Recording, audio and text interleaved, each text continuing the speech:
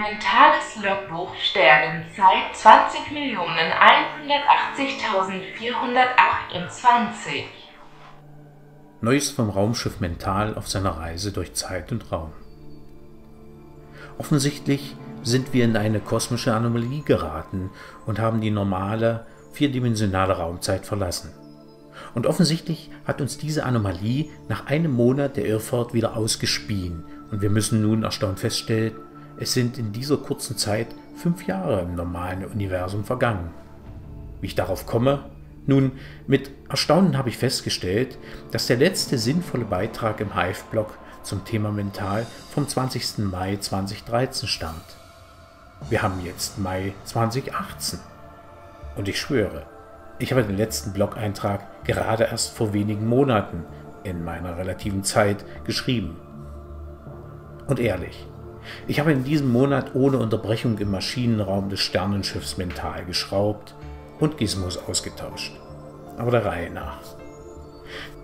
Die Idee, mental mit einem direkten Blockinterface für den Massenspeicherzugriff auszustatten, hatte am Anfang der Reise einige Vorteile und auch einen gewaltigen Charme. Die Routinen für den Massenspeicherzugriff waren verdammt klein und schnell, was dem forcigen Lebensstil der Einfachheit sehr entgegenkommt. Sie standen quasi unter der Überschrift Zen und die Kunst, auf einen Massenspeicher zuzugreifen. Aber leider hat jede Münze zwei Seiten, wenn man mal von der legendären Möbius-Münze absieht. Denn es zeigten sich relativ schnell auch zwei Nachteile. Auf der einen Seite war die Installation umständlich, da die Tape-Dateien immer unfragmentiert auf der Karte gespeichert sein mussten. Wollte man neben dem Mental auf der Karte auch noch Trios beheimaten, waren umfangreiche Kopieraktionen nötig. Wollte man später noch weitere Tapes zum Mental hinzufügen, musste die Karte quasi komplett neu bespielt werden. Aber das war noch zu akzeptieren, da es nur ein einmaliger bzw. recht seltener Aufwand war.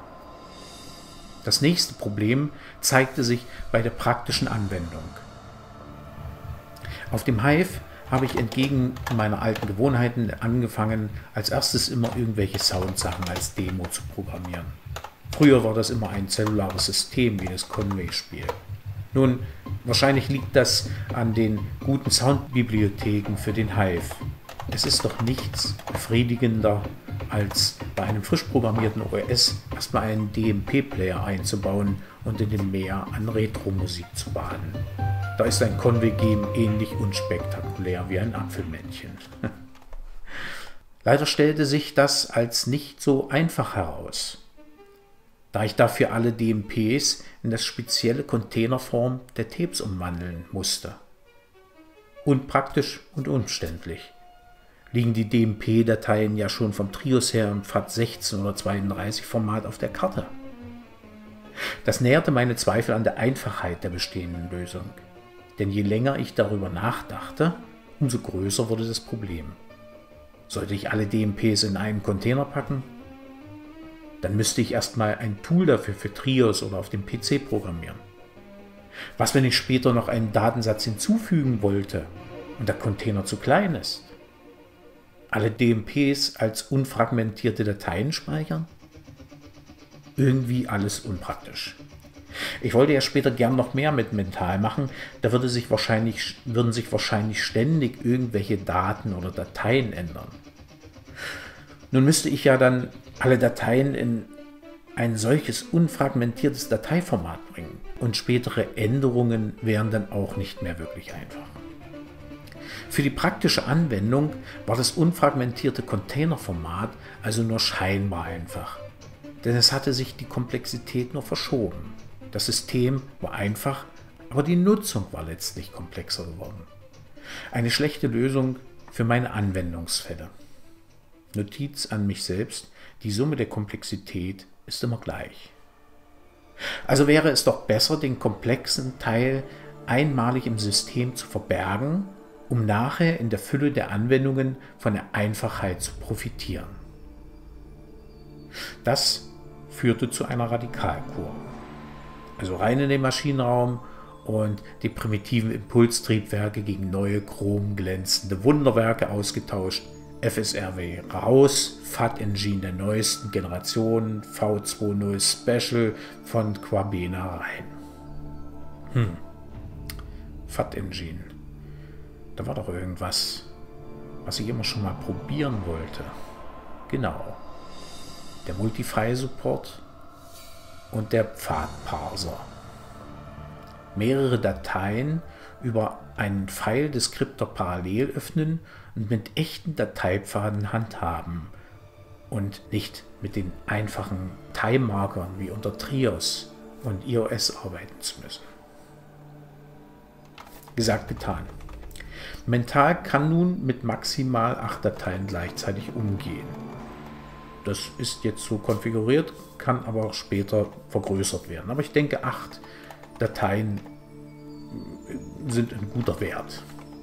Mit dem Wort Files, also ich meine mit dem Force-Wort Files, dem Kommando, kann man sich die File-Deskriptoren und damit die aktuell geöffneten Dateien anschauen.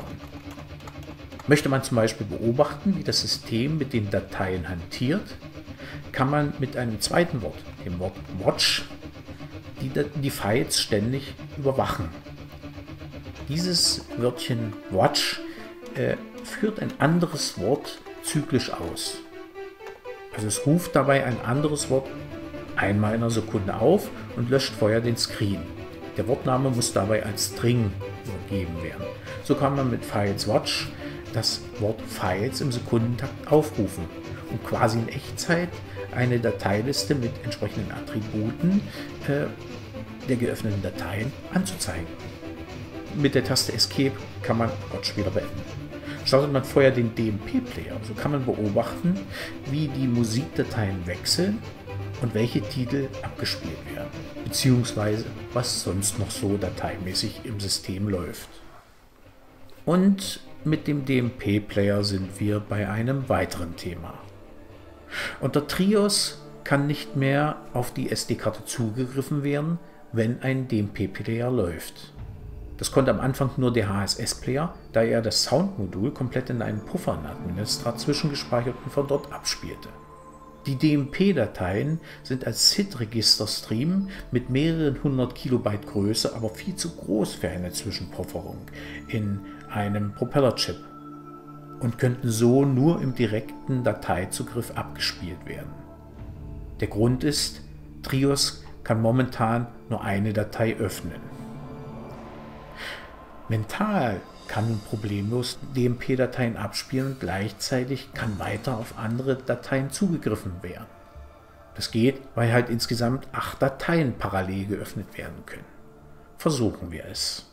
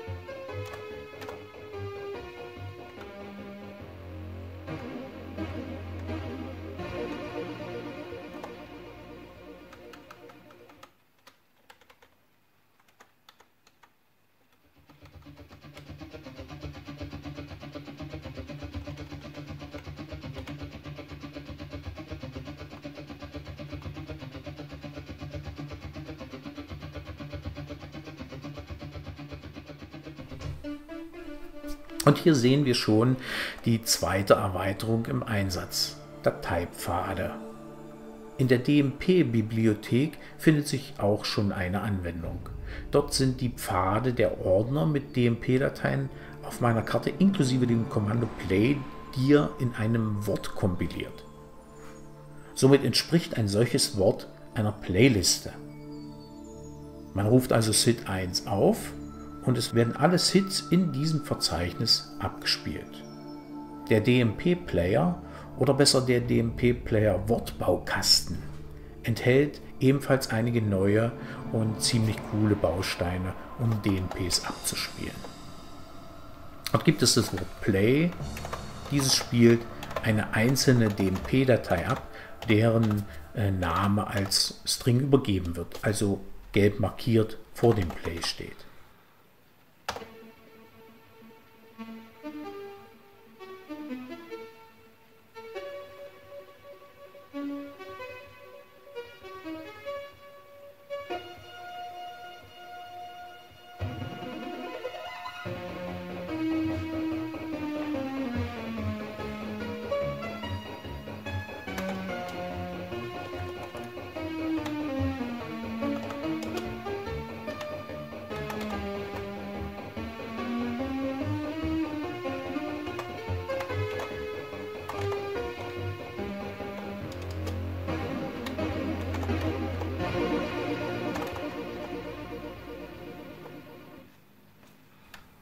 Es gibt das Wörtchen Play Dir. Dieses wiederum spielt ein gesamtes Verzeichnis ab, also alle darin befindlichen DMP-Dateien.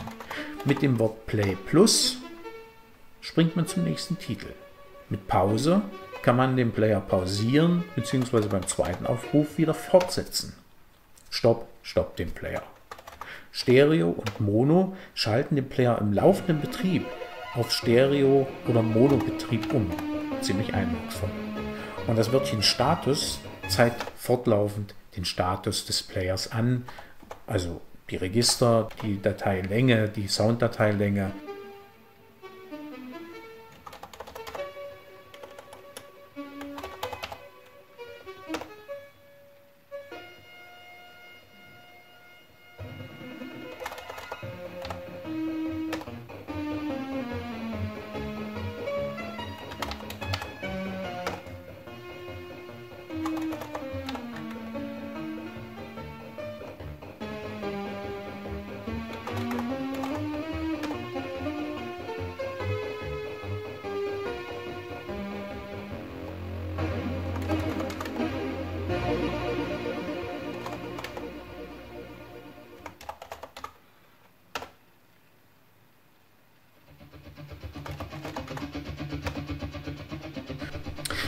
Zur einfachen Handhabung sind übrigens in der Autostartdatei sys.m alle wichtigen Bibliotheken als Worte angelegt. Als Beispiel kompiliert das Wort DMP die DMP-Bibliothek also ohne viel Tipperei ins System. Ich habe mir dabei angewöhnt, am Ende einer Bibliothek ein zum Bibliotheksnamen gleichlautendes Wort zu definieren, welches dann die Bibliothek wieder aus dem Wörterbuch entfernt. Das schaut dann so aus. Man gibt einfach DMP ein und schon wird die DMP, die Bibliothek, ans System rankompiliert, also ins Wörterbuch übernommen. Dann kann man mit SID1 zum Beispiel eine Playliste abspielen. Mit Stopp kann man den Player stoppen. Und wenn man nun ein zweites Mal DMP eingibt, wird der Wortbaukasten, welcher äh, zum DMP-Abspielen gebraucht wird, wieder entfernt aus dem Wörterbuch. So kann man sehr schnell arbeiten und experimentieren. Aber man muss Folgendes beachten. Das zweite Wörtchen DMP löscht natürlich nicht nur die DMP-Wörter, sondern alle Wörter nach der DMP-Erweiterung, da es das Wort Forget verwendet. Was habe ich sonst noch so in dem gefühlten Monat programmiert? Schauen wir mal im Schnelldurchlauf. Da wäre als erstes äh, eine kleine Veränderung im Eingabeparser von Mental. Der Eingabeparser akzeptiert nun den Präfix Prozent, das, also das Prozentzeichen für Binärzahlen und das Dollarzeichen für hexadezimale Zahlen.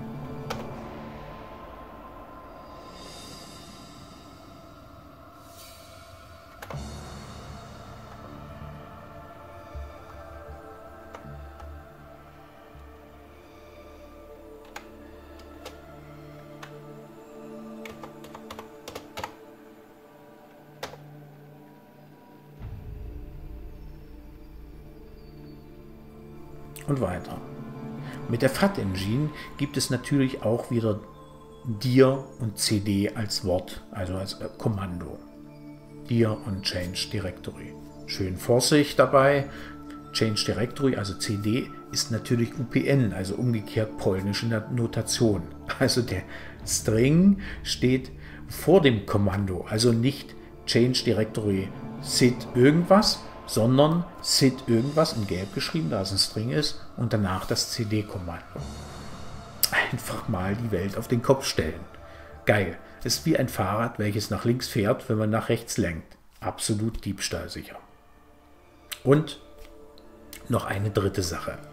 In der User-Datei befinden sich bei mir standardmäßig auf Screen 0 die Definitionen der Wörter WLD und WED, Abkürzungen für Workload und Workedit. Die User-Datei ist ja eigentlich die Benutzerdatei, mit der ich aktuell immer arbeite, wo ich also neuen, neue Bibliotheken entwickle oder ähnliches. Ja? Das Wort WLD kompiliert den Inhalt der Datei userm upscreen 1, also nicht upscreen 0, dort stehen ja WLD und WED selbst ins Wörterbuch und entfernt vorher einen eventuell schon vor, vorher kompilierten Workabschnitt im Wörterbuch.